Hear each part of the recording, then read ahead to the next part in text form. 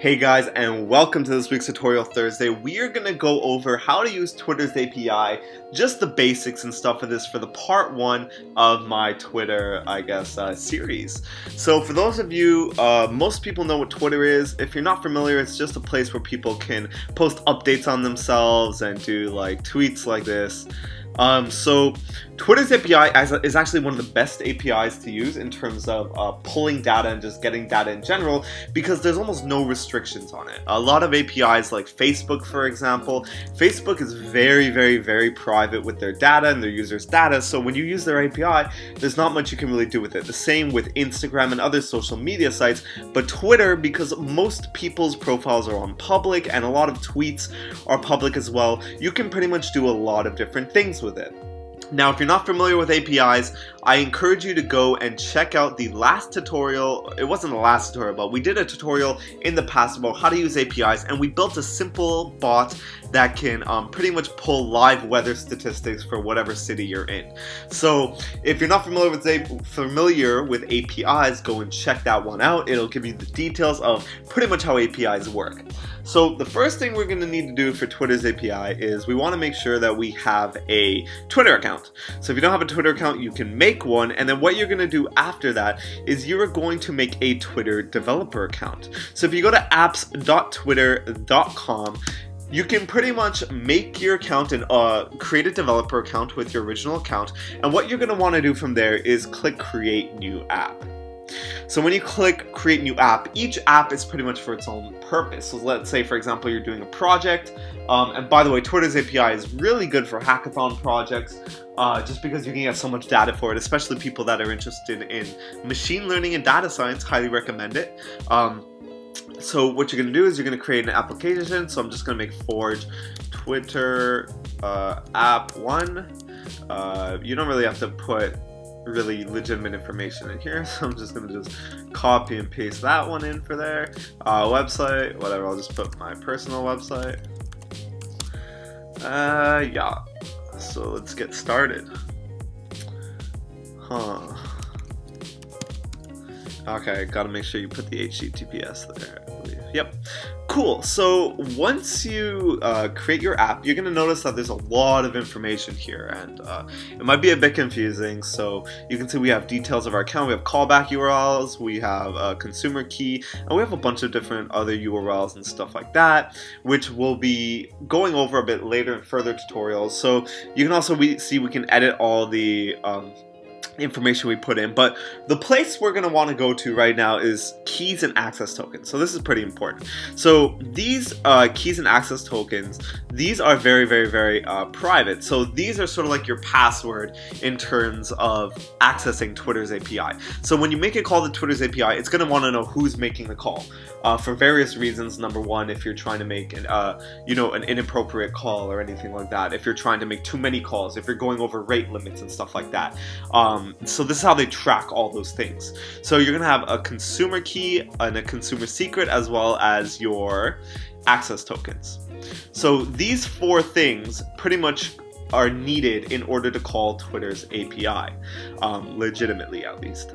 So what we are going to do is we're going to go over um, a simple framework called Tweepy. And Tweepy is pretty much, uh, or Tweepy, however you want to say it, Tweepy is pretty much uh, one of the most standard uh, Python libraries when it comes to using Twitter's API, and it really just streamlines streamlines the entire process. So I'm going to be doing this with Tweepy. You can use their, no matter what language you're in, there are a bunch of different frameworks you can use to use Twitter's API, or you can just make the calls yourself, uh, you know, using like URL lib or something like that, depending on the language you're using. But I think it's always easier to just go with a, a well-known library that uh, has a lot of, for example, contributors and stuff like that, because all the issues, most of the issues you'll run into have been ironed out. So I am here on my local machine. So what I'm gonna do is I'm pretty much gonna create uh, let's get rid of that stuff. I am going to create a new directory, so Twitter tutorial one.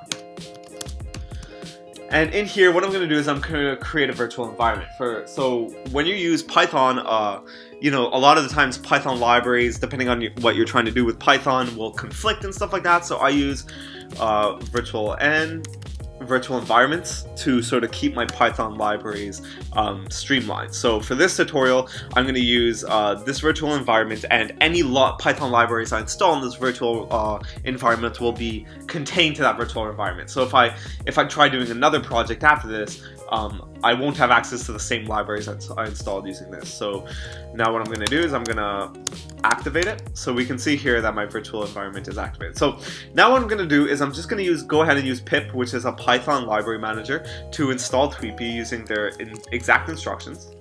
Uh, just pip install Tweepy. And there we go.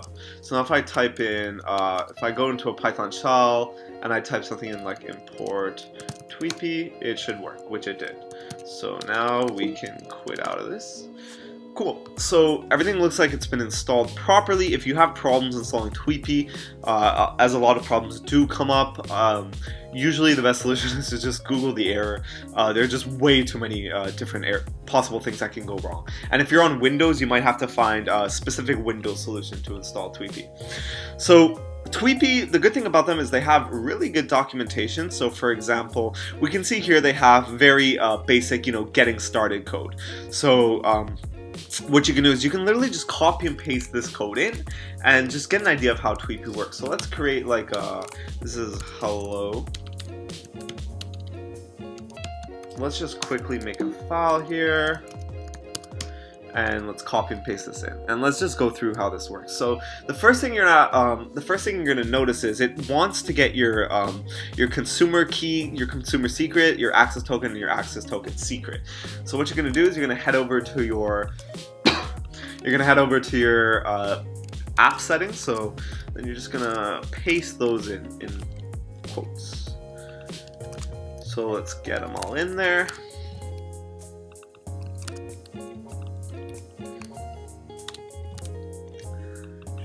And these are very private, so I'm going to regenerate my tokens after uh, I finish this video. Because you don't want anyone getting access to this, because then they can call the APIs if they were you. It's sort of like stealing your password type of thing. Uh, and you can always regenerate your um, your tokens and stuff like that, just in case, for example, like I'm doing where everyone can see it in a video. What we're gonna do is we're just gonna try, no, I will not buy that. We're just gonna uh, try running this now. So if we type in python hello.py, we're gonna notice that a little error comes up here. So as you can see, we have a Unicode error. Um, and basically what's happening here is a lot of tweets contain really weird characters, sometimes emojis, sometimes characters in another language that doesn't belong uh, to you know what your what your IDE or maybe your um, your terminal is accustomed to displaying.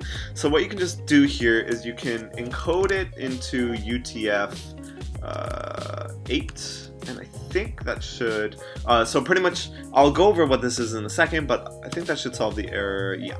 So you can see here, what we did was we just uh, got a couple of tweets, so let's go through it step by step. The first thing we're doing is we're creating an OAuth handler, and that is comprised of your consumer uh, key and secret.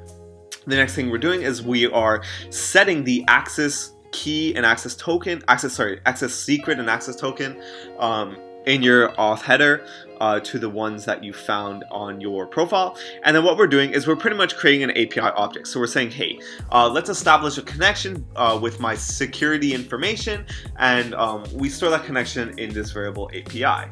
Now, what we're doing here is the first thing we're doing is we're calling the API.home timeline function, and what that'll do is it will return um, pretty much your home timeline. And your home timeline is essentially this. If I go home, um, these are going to be the posts that it's going to be getting.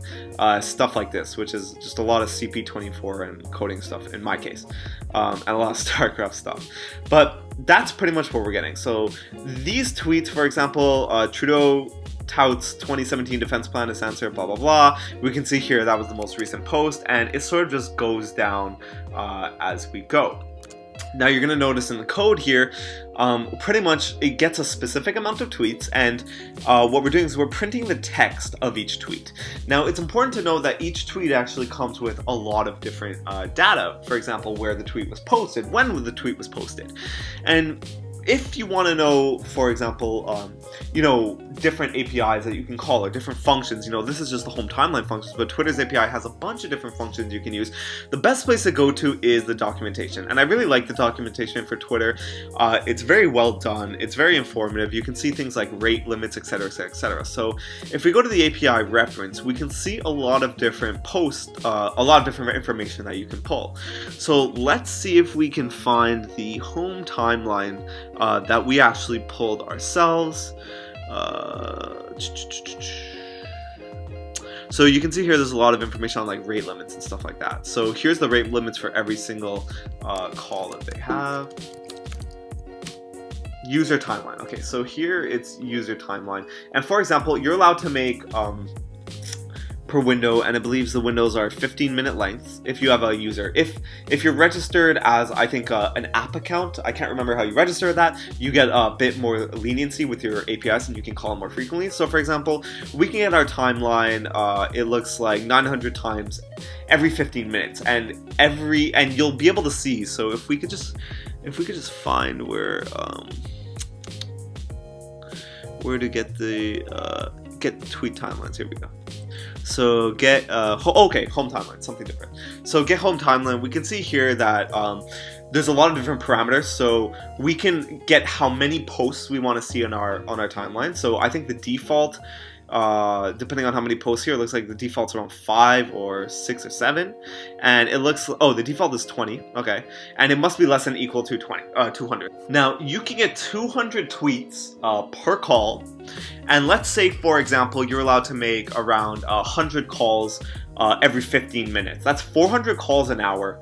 And if every single call you can uh, get 200 tweets, that's 400 times 200, which is around 80,000 tweets per hour that you can pull.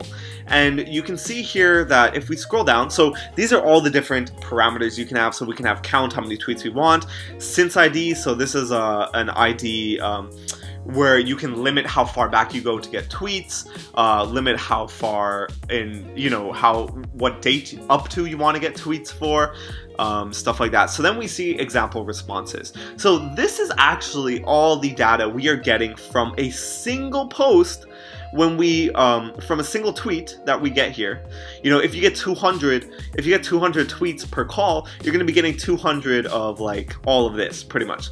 So we can see here what we got was um, what it has. It has a lot of different data, like when it was created, whether um, the user that you're getting it for has favored it or not, the actual tweet ID, um, the text, the retweet count, the if it has a geolocation added to it, whether it was uh, the user has retweeted it, then you can get information on the person that actually tweeted it. Um, so, you know, for CP24, we would get like a CP24 thing here and then a bit of information about them. So there's a lot of data and a lot of different calls will cross over in data. For example, if you're getting user timeline tweets versus like um, a user's information, uh, you know, usually their tweets will contain most of their information uh, anyway. So depending on what you're trying to build, you can be very, very optimal with which, um, you know, endpoints you decide to use for what data and stuff like that. But this is pretty much just the basics of how to use it. And I remember when I went to my first hackathon, you know, I wanted to, I thought APIs were insanely powerful. I thought they were like the coolest thing ever. I mean, you literally can like build something that can just take data from anywhere you want to. And it took me a very long time to like get to the beginning stage where I was just able to do something as simple as pulling your uh, timeline tweets.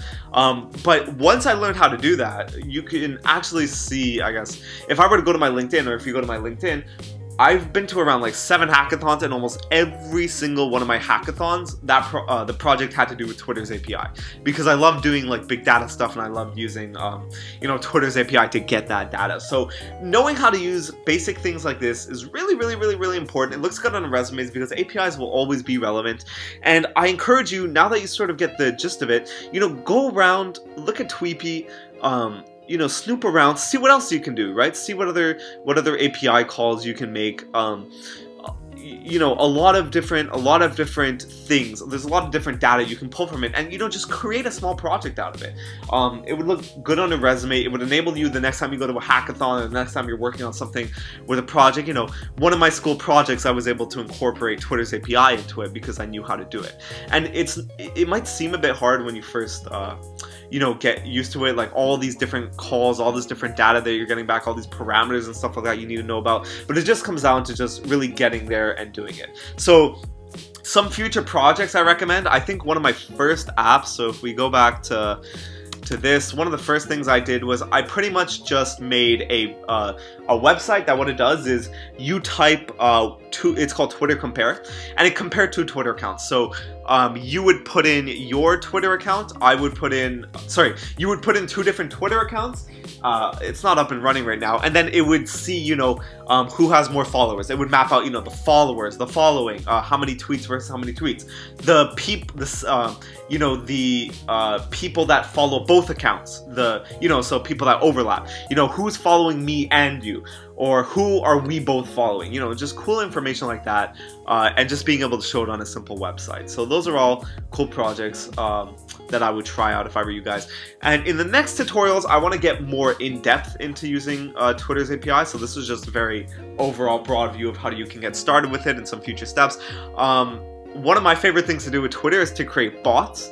Uh, so you know bots that can like respond to tweets and stuff like that. And i actually made something like that for my company while i was doing an internship uh, in california a couple years ago. So i'm to walk you through uh, how i did that in the next twitter series. So thanks for watching guys and i hope you guys found this valuable. If you have any tutorial thursday topics you want to suggest i'm to leave the feedback form below. And yeah thanks for being a forge member. Let me go to the website just to show it off uh, thanks for being a Forge member, and I'll see you guys next week. Oh, and don't forget to like and subscribe. Uh, I'm not really used to saying that yet, so cool. Take care, guys.